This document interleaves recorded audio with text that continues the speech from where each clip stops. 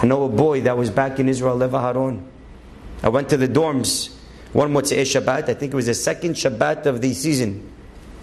Like one of these Shabbatot in the beginning of Elul.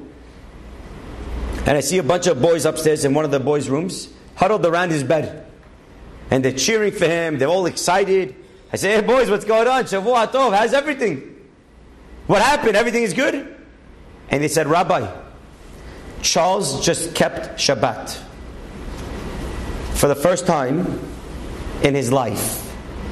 Charles is an 18 year old boy that never kept Shabbat in his life. Not lahachis, not to, but he never kept Shabbat, unfortunately. He just kept his first Shabbat. And you would think, oh, wow, this guy was mahalil. Shabbat?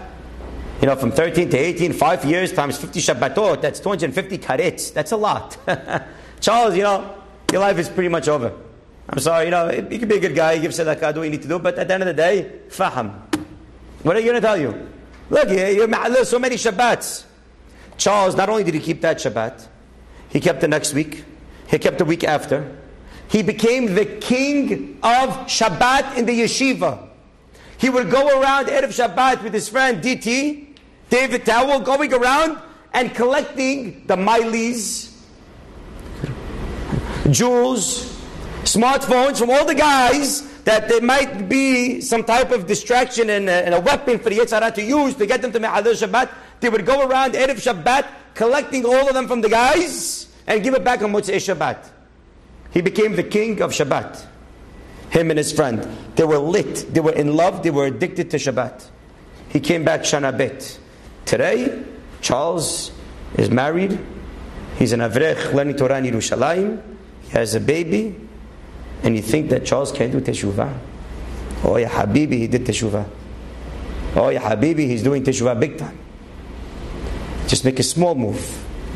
He didn't have to think how he's going to get to where he is now, four or five years later. He had to think, one Shabbat I could do. One Shabbat I could do. I will do one Shabbat. And haba letaher, mesayin lo. We don't have to figure out how we're going to continue. We just have to figure out how we're going to start. To make that small move. And the rest, we leave up to Borei Olam. Lo alecha. It's not up to you to finish.